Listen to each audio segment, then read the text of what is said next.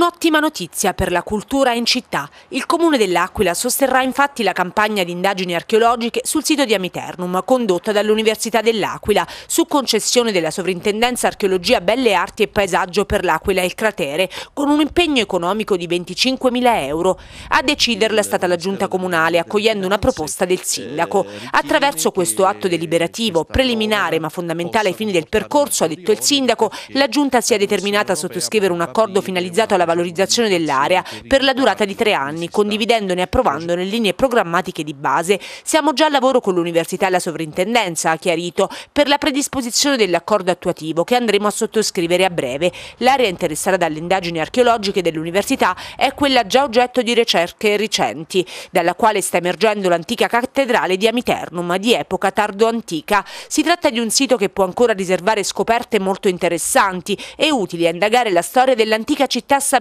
di Amiternum, con particolare riferimento alle ultime fasi di vita dell'abitato, spostate in avanti di diversi secoli rispetto alle informazioni che si avevano, proprio grazie ai risultati delle campagne di indagini archeologiche condotte negli ultimi anni. La sinergia con l'Ateneo, in particolare con il Dipartimento di Scienze Umane e la Sovrintendenza, che andremo a strutturare, detto Biondi, con la sottoscrizione dell'accordo attuativo, riveste un'importanza strategica nell'ambito delle politiche di valorizzazione del territorio a fini culturali e turistici, promuovendo e implementando la conoscenza di un'area archeologica che racconta una pagina straordinaria e inedita della storia del passato millenario.